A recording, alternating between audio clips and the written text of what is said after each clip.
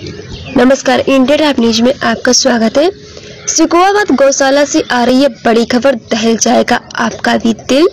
पूरा मामला थाना सिकोवाबाद क्षेत्र के अंतर्गत गौशाला से जुड़ा हुआ है।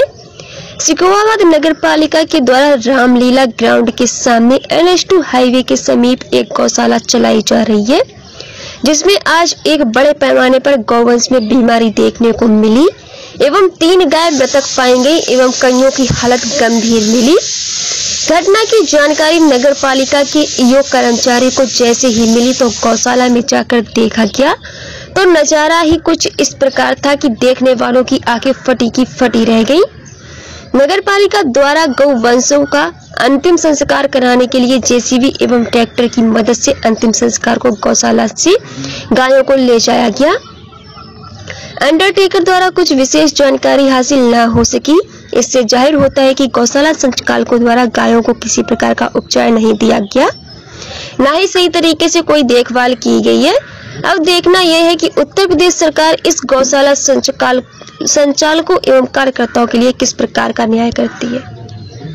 राकेश जी, आप यहाँ आए क्या है?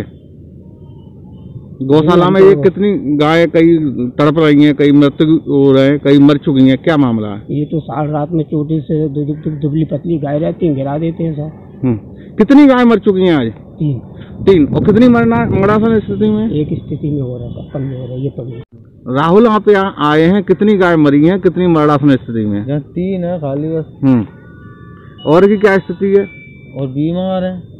इनके इलाज के लिए कोई चिकित्सक नहीं आ रहा क्या? तो है तो डॉक्टर नहीं ये डॉक्टर हैं तो इन्हें क्या दवाई दे रहे हैं? अभी कुछ दवाई दी है इनको वैसे ही? अबे तो कुछ नहीं जी तो अभी आए ना जैसे आप आए तैसे ही आ गए हैं।